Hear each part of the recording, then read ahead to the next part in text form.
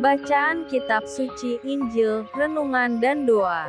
Jumat, tanggal 19 April tahun 2024. Dagingku adalah benar-benar makanan, dan darahku adalah benar-benar minuman.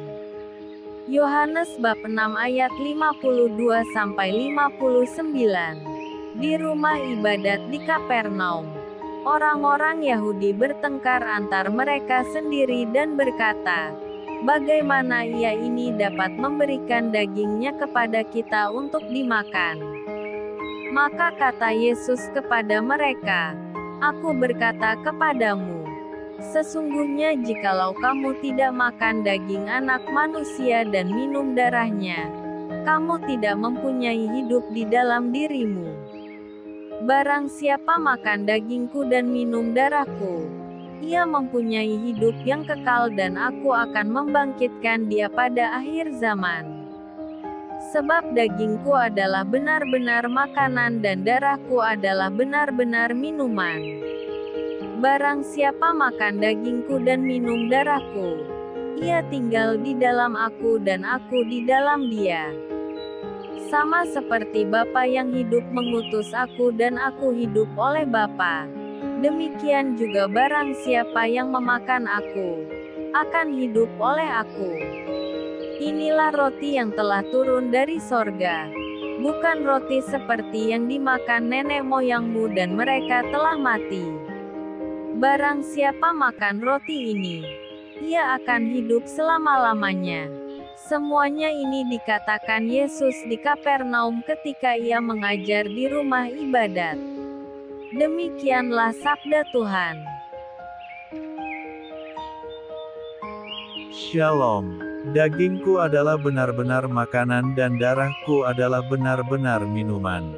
Injil hari ini, Yohanes bab 6 ayat 52 sampai 59. Mengapa orang-orang Yahudi tidak percaya kepada Yesus, Sang Roti Hidup? Mengapa mereka begitu sulit menerima bahwa Yesuslah Mesias? Karena mereka melihat dengan sudut pandang korporat saja. Mereka hanya memandang Yesus sebagai salah satu di antara mereka. Mereka tidak mampu melihat bahwa Yesus adalah tanda yang Allah berikan kepada mereka, bahwa Yesus adalah penggenapan dari nubuat para nabi. Oleh karena itu, mempunyai arti rohani, yang artinya jauh lebih mendalam. Bagaimana agar orang dapat berubah dan menangkap benda yang lebih mendalam serta percaya kepada Yesus?